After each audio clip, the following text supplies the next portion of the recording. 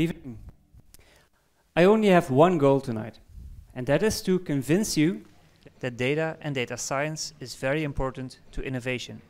It's crucial that data and data science are within a company to leverage all the important aspects of data. And also, the three symbols you see on my slide will make sense to you at the end of this talk.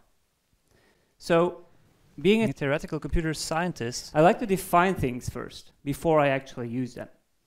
So, let's first start with innovation. What is innovation? Innovation means that we want to take things that already exist, change them using well-known methods, and make them better. We want to take them to the next level. That's what innovation is about. What is data? Well, data is something that's everywhere. You have tiny bits of information that are across the world, across the planet. And we want to leverage them again to use for innovation. So let's start with this quote. It's a quote from David McCandless. It says that data is a new soil. What does it mean?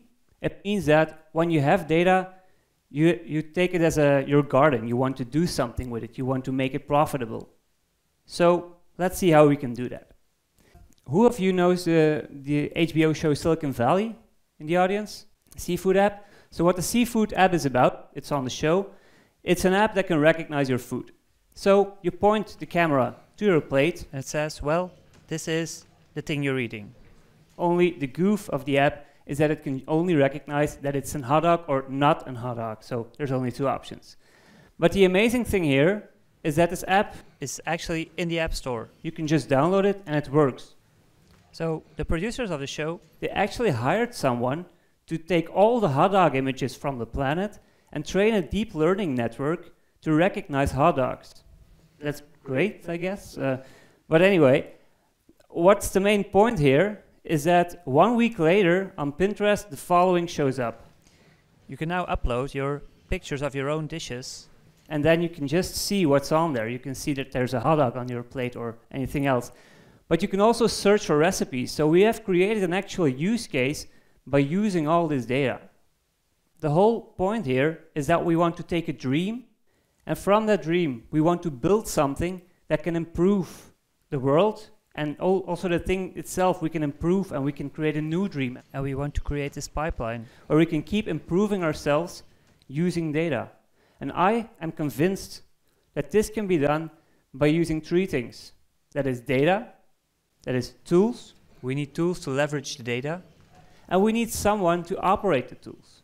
We need someone like this guy here to do something with the tools and to have the right knowledge to take them to the next level that is why we have the three images. We have the brains, we have the tools, and we have the data. We just need to use them in the right way. So that's why I'd like to do an experiment with you guys. I hope you're up for it. I don't like to do these things when I'm in the audience, but now I have choice, so um, you have a very simple job. The only thing that you need to do is remain seated at all costs. So you need to look at the person to the right of you. You need to ask, what is the battery level of your phone. And then you need to report it to my data scientist team. Please stand up, data scientist team.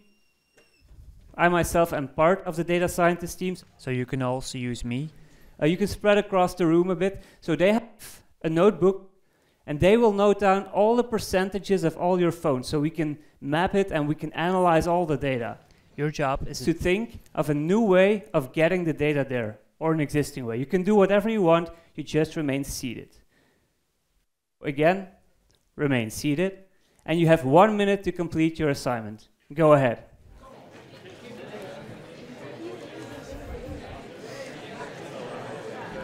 so data sciences team, start analyzing please. You can go back to your seats. And if you're done, you can report the results to me, and then we'll, we'll figure something out. Uh, so I'm glad that these things didn't happen. None, of the, none of the people got mad, I think. So my colleague Ronnie here was a bit uh, less lucky. But what did happen now? I think we can all agree it was kind of chaos. So, but sometimes chaos is good. So anyway, um, so the first thing we noticed that there was a lot of information coming through the data scientists. Is it processed yes, uh, yet? By the way, oh, you got a you got an airplane. Great. Um, so there was too much information to deal with at the moment itself. That's the first thing we can see. And then when the time got to 60 minutes, I predicted this, um, we can see that there was even more information coming in. So it was at the beginning they were just standing there, and to the end they were just grabbing information all over the place. So this was not quite ideal. And then finally, there were a lot of methods. We saw an airplane, a paper airpla airplane that was thrown. We've seen people shouting. We've seen people writing something down. So there were a lot of different ways that the information got to the data scientists. So they still have to figure out your handwriting even, so because it's all different. So these are the main problems that are core to big data. That is, we have volume, velocity, and variety. Too much data, too fast data, and too different data. And every year or so, we make up another V, so we get a new characteristic, because the data becomes even more complex to deal with. So this is why it's quite important to actually know the tools you're using. How can we leverage this? How can we fix this for the poor data scientists that are still working on it? And the answer is, at some point, like a decade ago, we got to Hadoop. Who has heard of Hadoop? Hadoop is actually a technology that allows to deal with these V problems. It can deal with large amounts of data. It can offer processing on top of this data. So it can help the data scientist to get something out of there or to look into the data. And since then, since the origins of Hadoop, we have a total data landscape and everything here is a new technology that aims to solve one of these new problems. So the data scientist has to know the tools and that's what I said before. There are tools, but you need to know them, so it's very important. So why this, does this experiment fail? because we did not use the right tool. I think that's quite obvious. So let's retry with a new tool, yet another experiment. So now take your phones and you get the following job. You can go to menti.com and you can fill in the code you see on top. That's 576943. And you can just answer the basic question of your phone's battery percentage and the brand. And if all goes well, I start analyzing this data immediately. Oh, first ones are coming in. I see Android is ahead. Oh, things are changing. The advantage of using this tool, I think is quite obvious. We can immediately start analyzing and we can see that there are a lot of more Android users than there are Apple users. And we can also see that people's batteries are fine. So I think the need for the, the extra battery packs that we bought as gifts, just put them away. Not necessary we can see all the complaints about the iPhone battery being not so good is also okay. So, well, if I was a battery manufacturer, I would be quite happy with this set. And also TEDx, I think you can do something with this data so to maybe target some people for that use Androids or something like that.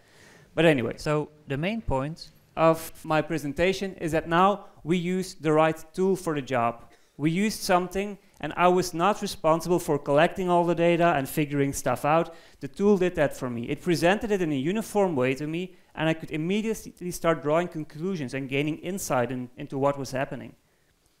So this time, everything was okay. We only needed one data scientist instead of the, set, uh, the team of three, so that's also an advantage, I guess.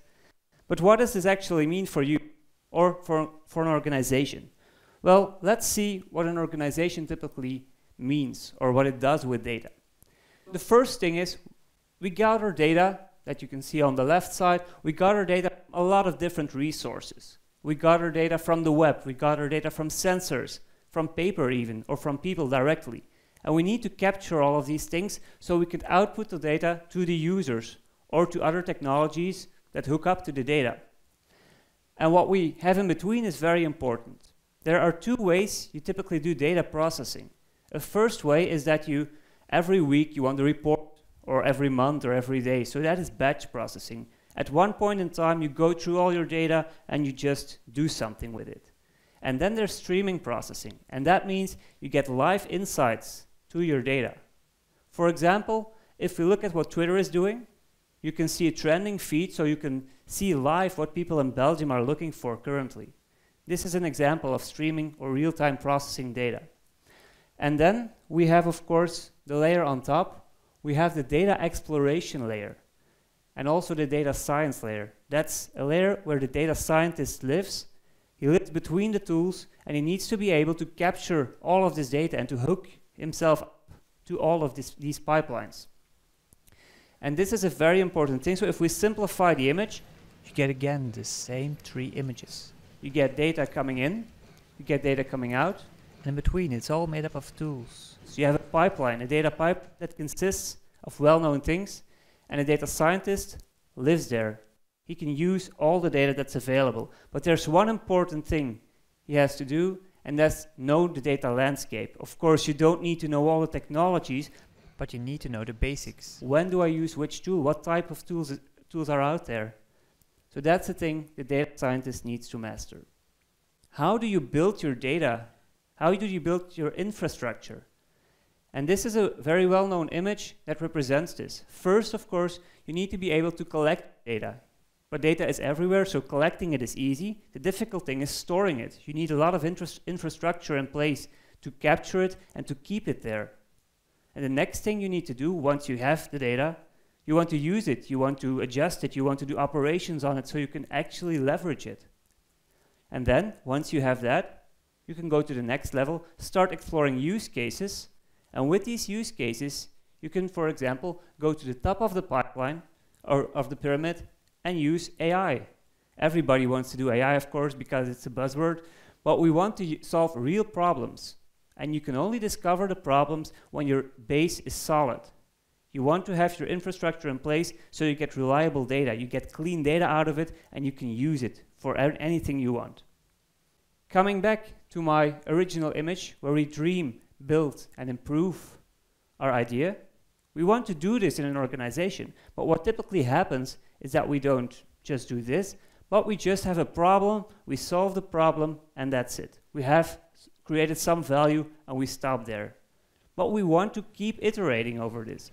So I propose a different way of doing this. So instead of going directly from the problem to the solution, what we actually want to do is hook up a data science pipeline.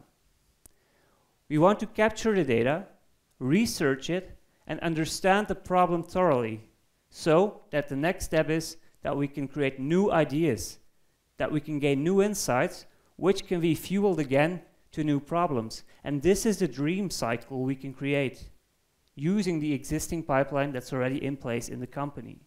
And yet again, we can find the three things. We need the data itself. We also need the tools to do the research and to make it easier for the data scientist. And we need the brains, the ones that know the tools, that know the data, that know the domain, so they can actually leverage all the information that's there. So coming back to the original quote, that data is the new soil, I think we can adjust this one. Seeing as data is so important for innovation, for making decisions, for creating value, I think we can adjust it to the following. Data is not the new soil, it is the best soil we have for innovation. Thank you.